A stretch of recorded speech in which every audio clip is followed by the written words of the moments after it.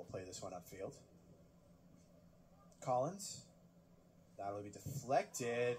And Cornell will work their way up the field. Here's a shot that's blocked away by Alexi Uno.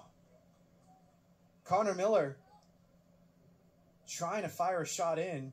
Follow up. That one right directed in. Who else? It's Alex Harris who breaks the scoreless tie for his 12th goal of the season, assisted that time by Daniel Samways. Alex Harris, the tremendous.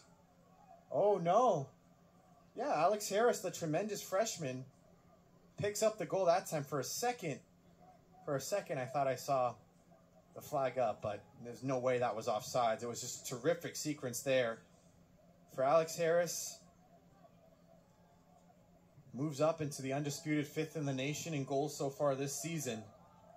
And just that touch on that ball is just unbelievable to watch.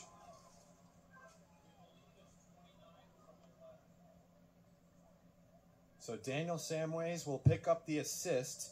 That'll be his first point of the season. Actually, the first point of his career to this point. The sophomore finally getting in the scorebook off that beautiful pass. It felt like Dartmouth were the ones aggressing, but Cornell, all it, all it take is, took was one. And when you give Alex Harris opportunities, that's what's going to happen. Fenton trying to work that one by, but Connor Miller's there for it. And Miller on his horse. It's a three on two. Miller the pass. It's Harris again, and that one sails high on him.